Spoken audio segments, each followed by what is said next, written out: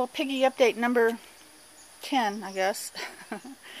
it is April 20th. And these guys, three little pigs, are all that appear to be left of the family. Mother, princess, and black male disappeared. It's been 10 days, so I don't think they're coming back. And, geez, a week of calamities. There are bees everywhere. I have a bee on my ear right now. Ah, oh my god, he's right behind my ear. Get off me. Ah!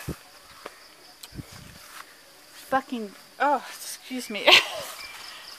There's a beehive, or was. It's gone now, but there are many bees around, and one keeps landing on my neck, so I think I should get out of here. Ah! Ah! So the water pump went bad this week. Whoops! Beehive infestation. What else happened? Something else happened. I can't remember.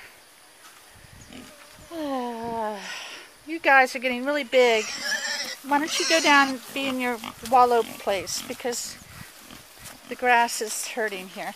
This bee, get off of me. Ah! I'm being attacked.